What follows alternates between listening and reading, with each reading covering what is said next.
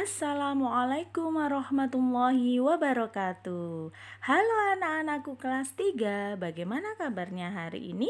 Semoga anak-anakku sehat selalu ya Dan dilindungi oleh Allah subhanahu wa ta'ala Anak-anakku, hari ini kita akan belajar Galileo, materi lingkungan sehat dan lingkungan tidak sehat. Untuk itu, sebelum kita belajar, kita berdoa dulu ya. Bismillahirrahmanirrahim. Anak-anak, Ustazah Rifa mau bertanya nih. Adakah yang tahu apa itu arti dari lingkungan? Ayo, apa itu lingkungan? Ya, pinter. Lingkungan adalah segala sesuatu yang ada di sekitar manusia yang mempengaruhi perkembangan kehidupan manusia, baik secara langsung maupun tidak langsung. Berdasarkan unsur kesehatan, lingkungan dibagi menjadi dua, yaitu lingkungan sehat dan lingkungan tidak sehat. Nah, anak-anak, kita akan belajar tentang pengertian lingkungan sehat dan lingkungan tidak sehat ya. Coba ada yang tahu apa itu lingkungan sehat? Ya, betul. Lingkungan sehat adalah lingkungan yang tentunya sehat, bersih dengan udara yang segar dan sedikit polusi udara. Sedangkan lingkungan tidak sehat adalah lingkungan yang kondisinya kotor dan sangat tercemar anak-anak. Nah, anak-anak, coba amati gambar berikut ini. Apa pendapat kalian kalau kalian melihat gambar ini? Tentunya kita akan merasa senang ya kalau tinggal di rumah ini karena lingkungannya nyaman, bersih, dan juga tentunya sehat ya.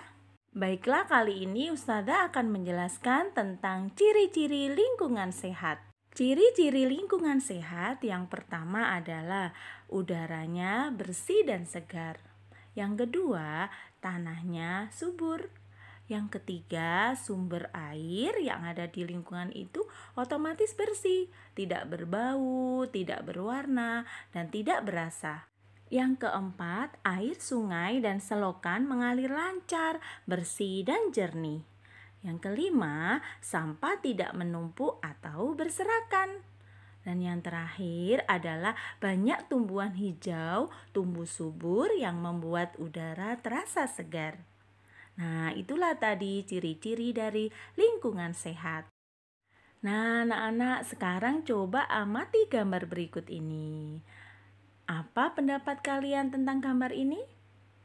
Bagaimana kondisi lingkungannya? Apakah lingkungan yang di sini sehat atau tidak sehat.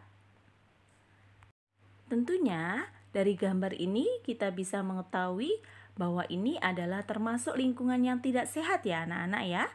Baiklah, kali ini Ustazah akan menjelaskan ciri-ciri lingkungan tidak sehat. Ciri-ciri lingkungan yang tidak sehat yang pertama adalah udara kotor.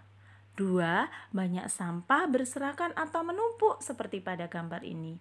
Yang ketiga, sumber airnya otomatis pasti kotor dan bau. Yang keempat, saluran airnya otomatis tidak lancar anak-anak karena tersumbat oleh tumpukan sampah. Dan yang kelima, tumbuhan tidak dapat tumbuh subur. Lingkungan menjadi gersang.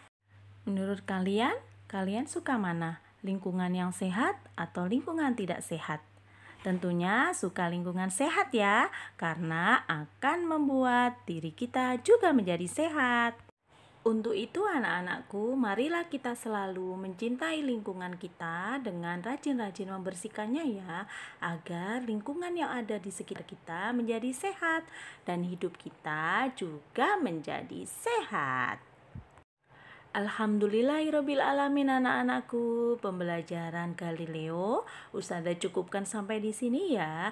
Semoga kalian sudah paham Apa itu lingkungan sehat Dan juga lingkungan yang tidak sehat Beserta ciri-cirinya. Anak-anakku tetap semangat belajar di rumah ya Pesan Ustazah buat kalian di rumah adalah don't forget to pray on time, don't forget to obey your parent, don't forget to reading of Holy Quran, don't forget to study hard, and be careful. Terima kasih anak-anak. Wassalamualaikum warahmatullahi wabarakatuh. Bye-bye.